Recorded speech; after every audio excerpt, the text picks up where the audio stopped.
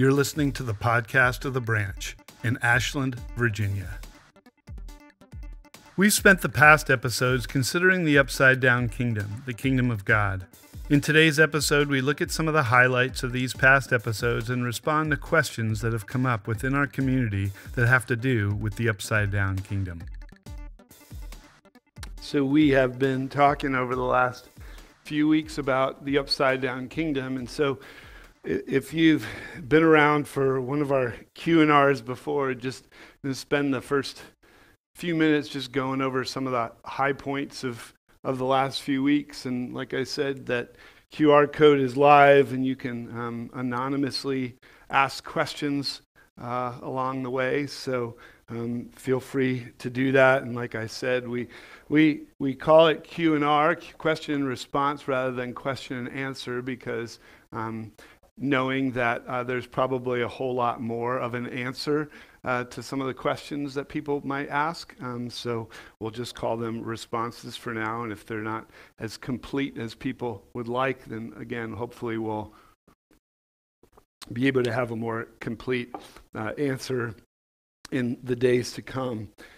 We started out the series looking at this idea that we are kingdom people, and throughout the series, we reminded ourselves of the fact that we're people of the kingdom, but we live in the world, and that that's where a major tension comes from for us as, as believers in Jesus. That um, we're, we're part of two places in some ways. We've got our foot in one place, and yet we're still part of another. And um, the, the language that theologians use, that Paul sort of alludes to in his letters in the New Testament, is this idea that the kingdom of God is a now and not yet. And not just Paul, but I think Paul really gets that, that idea from Jesus because throughout the Gospels, as Jesus speaks of the kingdom of heaven, the kingdom of God, he, he talks about how the kingdom of God is like, and um, he refers to the kingdom of God being here. But, but we know that it, yes, a part of it is here, but a part of it is also coming. And so that plays into that same tension that as kingdom people uh, living in this world, we know that the kingdom of God has come, but the co- kingdom of God also will come.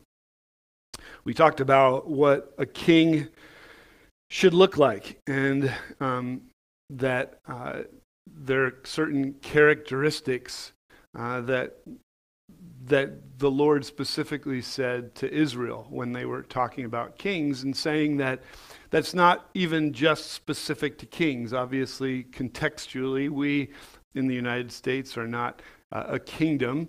Um, we're a republic, a, a, democratic republic, right? And so uh, it's not a, a one for one comparison there, but when it comes to characteristics, these are characteristics to be thoughtful of. A king that, that the Lord chooses, not overly wealthy, following God's laws, and also humble and seeking out upside down kingdom values.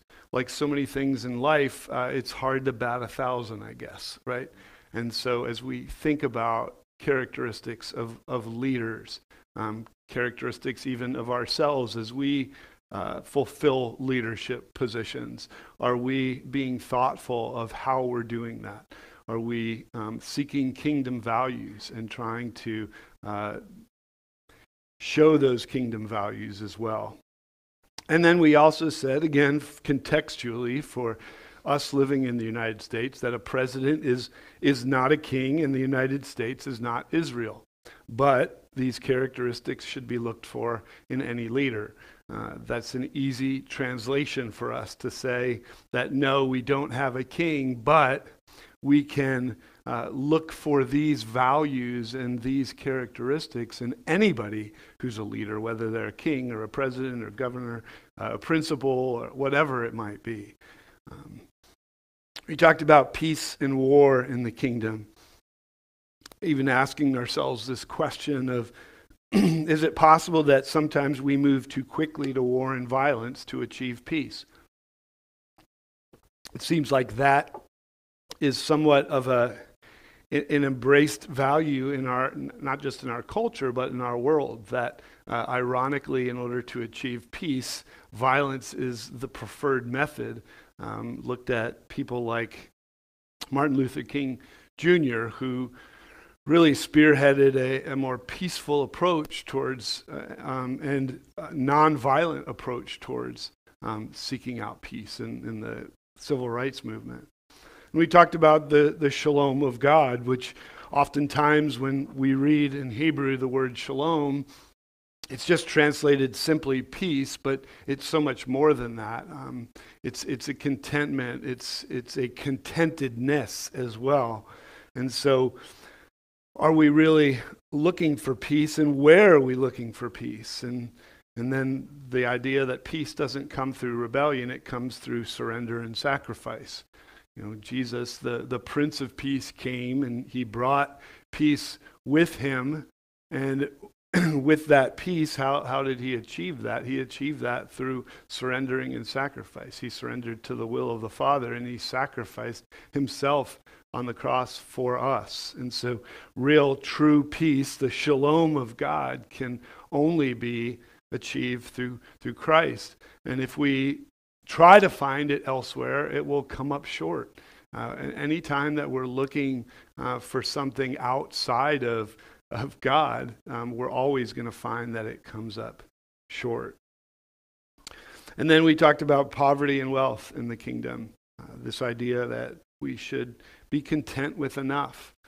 Again, I think in our culture, um, I, mean, I caught myself the other day as, as, Christmas is coming and all these, this is Black Friday week. Now we have a whole week of Black Friday, right? So I'm seeing all these deals and I'm going, oh, look, I'm going to put that on my wish. And I feel like I'm like six years old again because I'm putting these things on my wish list, but then I have to remind myself of contentment. Like, am I, am I being content and what is enough. And not just materially, but um, we have this tendency at times to say that we need to be enough. And so ask the question do you feel like you need to be enough, or is God enough for you? Uh, that, those moments in our lives, which I would imagine all of us face, where we're asking ourselves, Am I enough? And I think the next logical question is Can I ever be enough? And the question is no, because that's why we need a Savior. That's why we need Jesus, because Jesus is enough. And while that sounds a little cliche at times, we, we have to embrace the enoughness of Jesus. Um, because we fall short. And when we do, uh, just like Paul understood, that his grace is sufficient for us even when we don't feel like we are enough or we have enough. Um, and so, where is it that we are looking for our enough? Are we looking past Jesus or is it Jesus plus? Are we saying, okay, well, I can be content with Jesus, but I also need to have other things? Um, and, you know, use the illustration of having gone down to Costa Rica and seen people who had very, very little, especially in comparison to many of us who seem to have a joy that you don't often find in the suburbs um, and even in the United States. Power, when we talked about power in the kingdom, and uh, especially in political times, we see people who we would consider to be power seekers. And as a skeptic myself, asking myself that question of why are power seekers seeking power? Usually it's not for as um, uh, benevolent and altruistic of means as we would like them to. Um, that oftentimes uh, they're doing it um, for other reasons. We we, for comic book fans, we use the, the words of, of Uncle Ben from Spider Man, who said, With great power comes great responsibility. Uh, that there is a responsibility anytime that we assume a position of power. Um, we looked at the biblical character of Rehoboam, who is the grandson of David, who, uh, instead of listening to his uh, Father Solomon's advisors, he decided to listen to all his peers, which is probably not a good thing all the time, and decided that he was going to oppress his people more. And so power really corrupted him in so many ways, but we don't look to kings and, and kings of this world to understand power or to even model power for us, but we look to Jesus to be the one to remind us. And we looked at Andy Crouch, who's written the book called Strong and Weak, and he said the possibility that the journey of Christian discipleship and true power would involve not just a progression towards one or the other, authority or vulnerability, but towards both at the same time because we see that Jesus modeled for us a position and a posture of authority and vulnerability. He knew that he had been given authority by the Father, but he also knew that he needed to model that in a vulnerable way. And I think one of the greatest examples of that that he did was the night before uh, he would give himself up. He washed the feet of the disciples. Um, and many of whom, I mean, Peter, of course, you know, the one who generally ends up jumping to conclusions anyway, was like, no, Lord, if you're going to wash my feet, just wash my whole body. And and it was just another case of missing the point for, for Peter. But Jesus modeled vulnerability, uh, and he didn't uh, take it for granted the fact that he was given the authority of the Father. And we looked at the words that Jesus quoted from Isaiah when he went into the synagogue and he un- unfurled the, the scroll to read from Isaiah in Luke 4. And he gave, again, an example of how we wield power. How do we wield power? We proclaim good news to the poor. We proclaim freedom for the prisoners, the captives. We proclaim recovery of sight for the blind, not just physically blind, but spiritually blind as well. We set the oppressed free, and then we proclaim the year of the Lord's favor, the, the year of Jubilee, as it was called in the Old Testament. Every 50 years, that year would come, and, and land that had been had fallen away from a family or had to be sold or whatever was returned in that year of Jubilee. And the land was given a rest, and the people were given a rest. And part of our responsibility in given the power and authority of God is that we proclaim that freedom. We proclaim the year of the Lord's favor. We said that God is our King and that sometimes we need to experience the hard stuff before we can experience the best stuff. Um, that we need to acknowledge that God is sovereign over all things, but uh, it doesn't always uh, feel great uh, in His sovereignty, that things can be a challenge at times. But in God, the kingship of God, we see the opposite of the kingship of the kings of this world. That God does the opposite of what earthly kings do.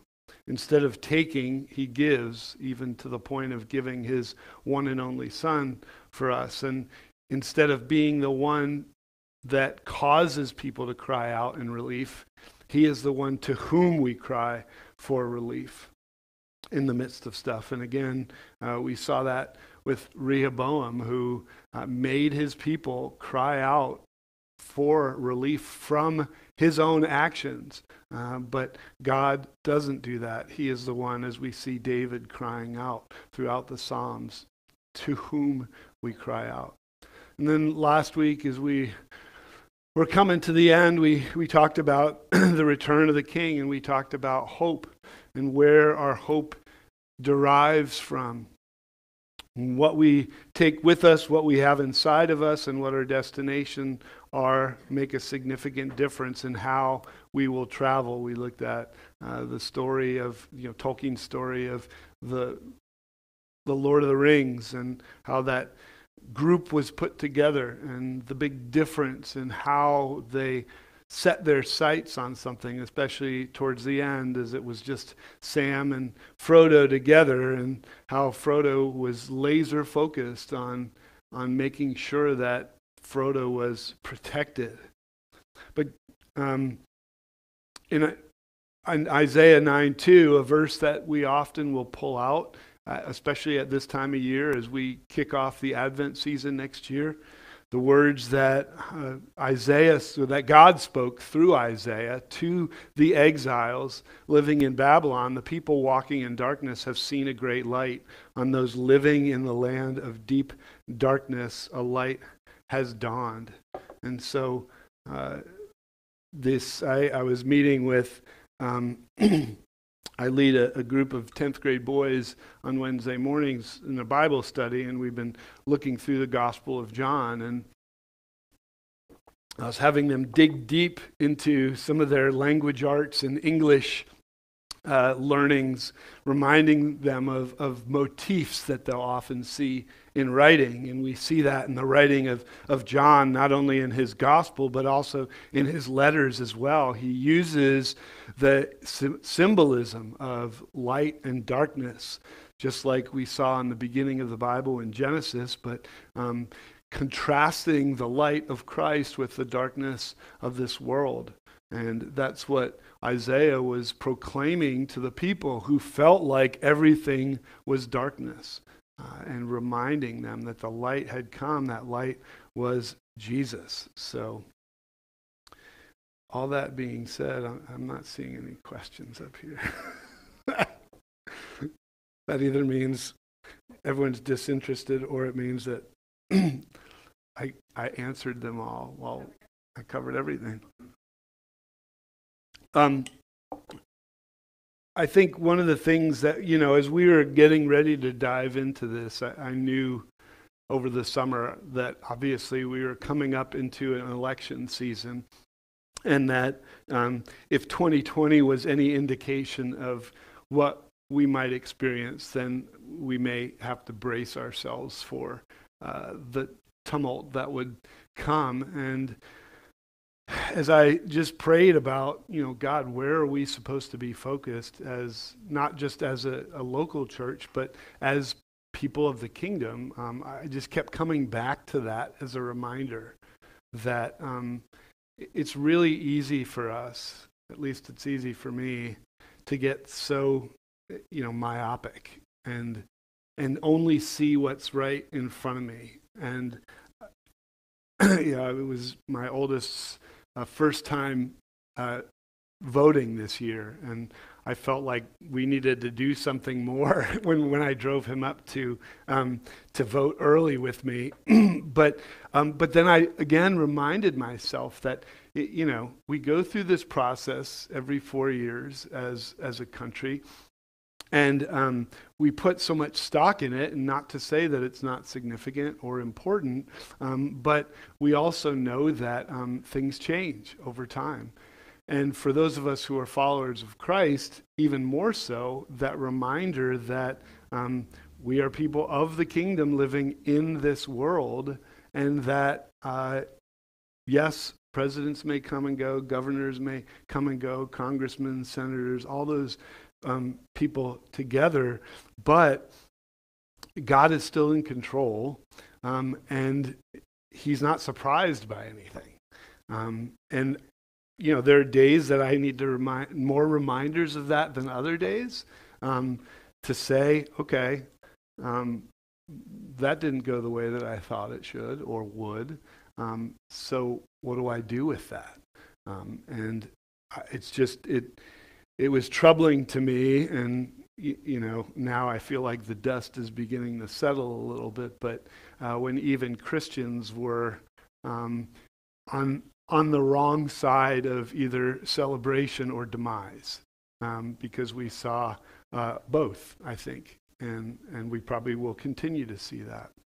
But we, if we can't convey the hope of Jesus Christ in the midst of circumstances that are difficult, then what's the purpose of the church? I mean, what's the purpose of Jesus having come um, if we can't really hold on to that truth? Um, or if our hope is grounded in um, so deeply in fallible people. That, that was Israel's problem, was that they thought that if they looked just like everybody else, uh, if they had a king that could ride out in front of them, uh, and protect them and fight for them and do all those things, then uh, they'd be, you know, scot free. Um, but that wasn't the way that it is. I I was reminded of a, a verse this week as I was talking with a friend um, in Exodus. I think it was Joshua who God had spoken to. And he said, The Lord will fight for you if you only be still. um, and it's like so many verses in the Bible that, like, if you could cut off a couple of words, it'd be a really good verse. And I'm like, oh, it's a great verse if you say, The Lord will fight for you and leave it there. But it's not that. It's the Lord will fight for you if you only be still. I don't know about y'all, but um, I have a really hard time being still. Um, and, and then I get in the way of God's fighting for me um, because I think I know better, because I'm too impatient to sit and wait, you know, fill in the blank of, of the why of it. Um, and I just, it's not an easy thing, but you know, the truth of Scripture, we, we can't we can't do a Thomas Jefferson with it, right? And cut out the things that we don't like and make our own little John Gibson Bible or whatever. Um, we, we, have to embrace the whole uh, truth, the whole counsel of God's Word. And even when it's awkward or difficult or challenging or whatever it might be. Um, so, you know, and who knows, maybe four years from now, um, we'll be looking at the kingdom of God again because we all need that reminder again at the next election um, that, hey, you know what? God is in control and he's um, got this. He's got it in his hands and he's far more uh, equipped than we are, right? To, to be able to um, walk through it. So, all right. Any other? I'm still refreshing my thing and nobody's asking questions. So, any live questions that anyone has? Okay. That, there's a great one. I'm glad someone asked this finally.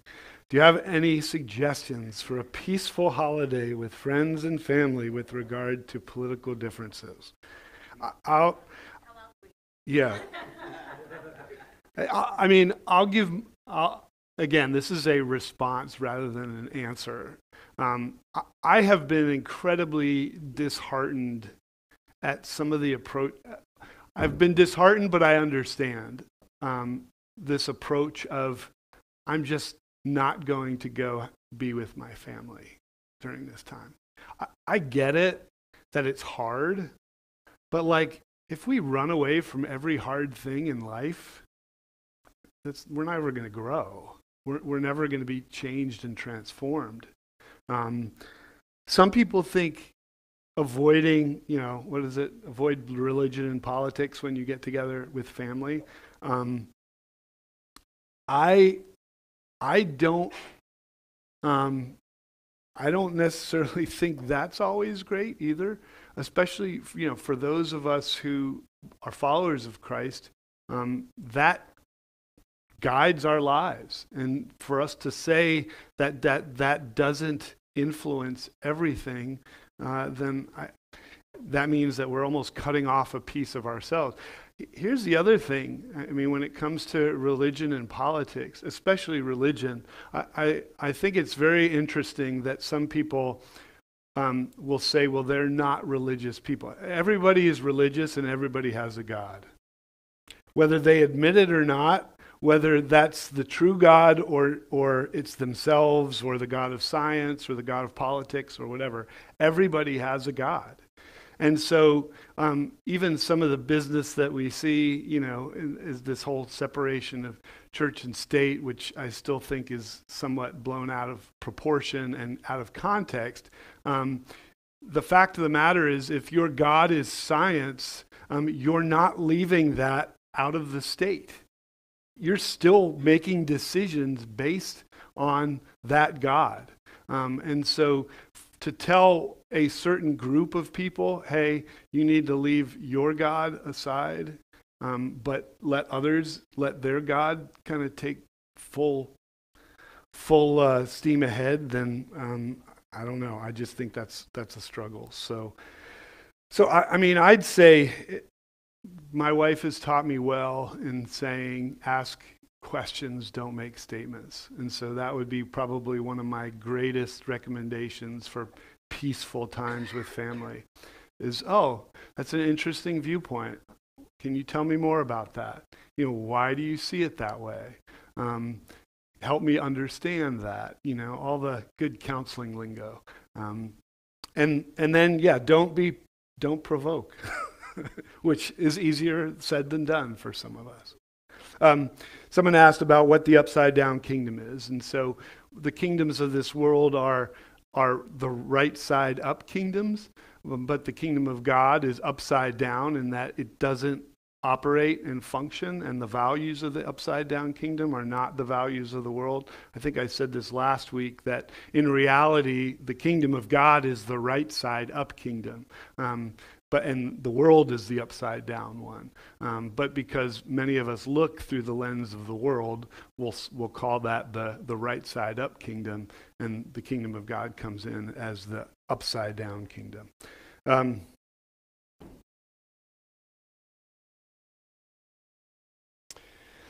God's kingdom is on an earth that has physical and environmental dangers. How do we comfort those who fear potential dangers that come with a leadership change? That's a great question. Um, I, I think, again, listening and acknowledging are two absolutely important things in the midst of this, which we don't do well. I mean, I, I, will continue to point to social media and our 24 hour news cycle as two of the main culprits for why we don't listen well and why we don't acknowledge things well. Because we're getting information at such a breakneck speed that we just don't know what to do with it. Um, if, if anybody uh, can filter through all the information that comes at them on a daily basis, then uh, please tell me your secret because I just don't think um, that we can. Uh, maybe I should say, if anyone can adequately filter through uh, all the information that is thrust at them on a daily basis, um, then I think that's uh, um, that's near impossible. But I think just acknowledging again, I mean, I, I may have mentioned that I had someone reach out to me um, who I think has very, very different viewpoints than me, um, but somehow or another, through social media and other ways, felt comfortable to anonymously, you know, and privately meet with me. And I just listened. Um, and and I tried to empathize, which empathy is not in my top strengths, so it's a stretch at times. Um, and and do my best. Look, I've got Italian blood. we just don't keep our mouths shut for very long. I mean, can I get an amen? Yeah.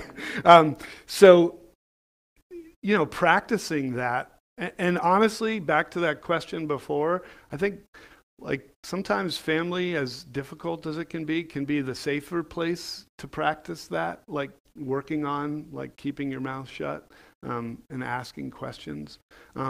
But when we can let, I have found it incredibly not just rewarding, but um, when people feel that you've heard them and that you've acknowledged what they've said and they feel understood, doesn't mean that you have to agree with them. Um, when they feel heard and understood, I, I feel like that makes a huge difference for people because people just don't, we just don't do that well as a society. And so, if the church can lead the charge on that and say, hey, I want to be a good listener, I want to be a good person to understand and really seek. Uh, I always use the phrase that um, I used to always listen to respond. It's much better to listen to understand. Um, and if we're listening to respond, then we're probably not listening well. Uh, because we're just waiting to see what we're going to say next. And if you have to use tools in the midst of your conversations, I, I, I've said to many a person sitting across the table from me, is it okay if I, if I take notes, um, if I write things down? Because if I, focus is not in my top five, top strengths either. So if I don't write something down, it's lost. Um, and it's no disrespect for the person to whom I'm speaking, but even just saying, is it okay if I jot some notes down? Um, and because I want to honor you and and listen uh, to what you're saying. So um, those things would be helpful. Um, if God is in control of everything, is there a point in doing anything? Wow, that's almost nihilistic in some ways, but. Um, here's the thing that I, I think we'll all struggle with until we come face to face with God. Humans have free will, and God is sovereign. And we try to put those things together and it feels like you know just this major tension. Um, god created humanity with the ability to make decisions. That's why we are where we are that's why adam and eve um, made the decision to not listen to what god said and why sin entered into the world does that mean god made a mistake i don't think it does. I think it just means that in order for love to happen, it has to be a choice too. And we, God couldn't just make creatures who automatically loved Him and obeyed Him. Um, obedience and love are choices. Um, and so I think that um, we're always going to try to wrap our heads around the fact that, well, if God knew that that was going to happen, then did God order and direct? I, there's some semantics that are involved in it, but I'm not always a big fan of people who said, well, God made that happen. Mm. God knew that it would happen, but I think there's a difference between having a knowledge and an understanding of something happen and actually directing that if that makes any sense. Um, and, and so I think, yes, there is a point in doing things because we don't know what God is doing beneath the surface. Um, I, I, again, just had a conversation this week with someone about that, this idea that um, I don't know what's going on. I, mean, I can have conversation after conversation with people and know something, but I'm not going to know everything about what's happening in a person's life. Um, but God does, and God and the Holy Spirit sees things that are uh, going on. So, so I'd say, yeah, there is a point and purpose if God is in control of everything. Um, there may be times that we feel like it doesn't make sense, like it's purposeless, but I think there is a point in doing things. Um, I'm going to look at the verse that we read from earlier. Actually, I think it's on my stand. Um, someone's asking about the. That's not my stand. That's yours, Kenny. Someone's asking about the verse from Hebrews that we read from. Um, since we're receiving a kingdom that cannot be shaken, let us be thankful and so worship God acceptably with reverence and awe. Um, for God is a consuming fire. So, what does that ex- actually mean? What is God, you know, what happens when um, fire consumes something? It, it's, it, well, first of all, it, it purifies it, right? Yeah, it takes away the dross if it's a metal. Um, and removes the impurities. And so, in that way, God, as a consuming fire, is is refining us and making us um, more like we were intended to be. Um, it sounds, it, yeah, it can sound like, oh, God's just going to burn me up or, you know, whatever. That's, uh, it's not intended to be like harsh, but um, as, mu- as much as being consumed uh, can be harsh. Um, I don't think uh, that that's um, really what the writer of the Hebrews is saying, that but, but instead, that yes, we are um, being consumed. And again, that's part of this whole process, um, this living in the world but being of the kingdom. I think that's part of that consuming fire piece, is that God is refining us. Um, and I, again, to me, there's been some postures from both sides of the political aisle, from Christians and non Christians alike in this season, um, that are somewhat surprising to me more from the Christian perspective because essentially as Christians we should be we are called to be in this process of sanctification to be being made holy. And if we say, I'm not going to subject myself to the things that God wants me to so that he can make me holy, then we're basically saying what Adam and Eve said I, I know better than you do, and so I'm not going to let you do the work in me that you need to do. Look, trust me. I, I mean, I all it, all you need to do is is have kids, and you can realize like how refining that process is. Um, to me, I don't like to grow. I, don't like to be wrong. Um, I don't like to say I'm sorry, but that's part of the process of growth. And um, if we truly believe that that God is refining us, that He's the consuming fire that's changing us to be more like Him, then we need to trust Him and let Him do that work in us. So. Um, hey, feel free. This link is going to be open uh, for the next couple days too. Um, so if something occurs to you later, you can either put it in there in the Slido um, thing online. You can send an email to me and, and I can respond. Um, I'll probably send out an email too. I think I've done this before in the past, just compiling all these questions and, and putting something on there just so um, if, if you missed it or want to share that, uh, you can do that as well. Um, but um, like I said, next week is is Advent, and I thought it was appropriate that we talked about hope because again, the the four themes of the four weeks of Advent are you know love, joy, peace, and hope.